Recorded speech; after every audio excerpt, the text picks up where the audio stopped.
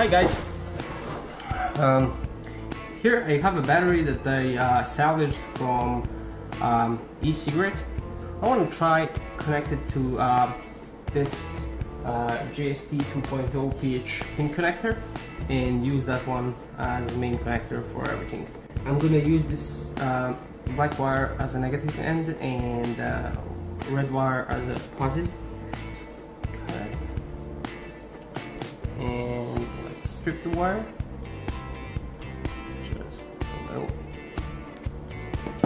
Alright, so my idea is connect this here and here. Alright, so I'm gonna go for the negative end first.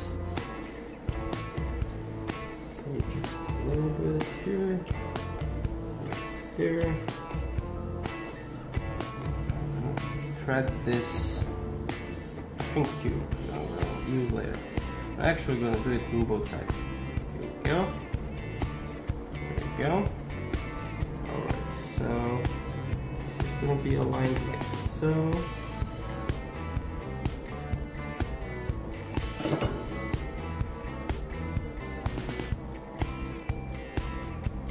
Okay, this is good. Alright, connection is strong. Is nice. Alright, now for the positive lead. Same procedure.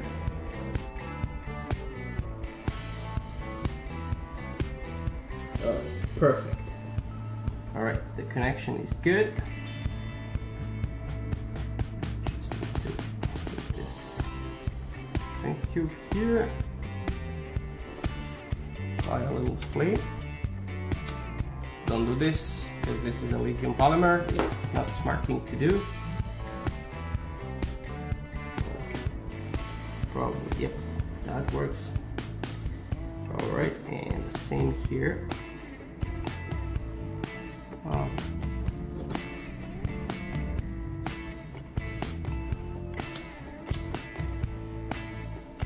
okay, now we know Kapton tape burns nicely. Alright.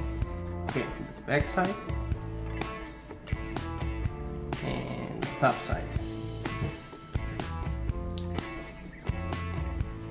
And again, don't do this because it's it's lithium polymer.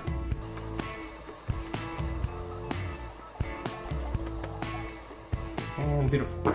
Alright, let's test it. See if it works. Actually, I don't know if this battery has a charge at all. Alright, so the pins here.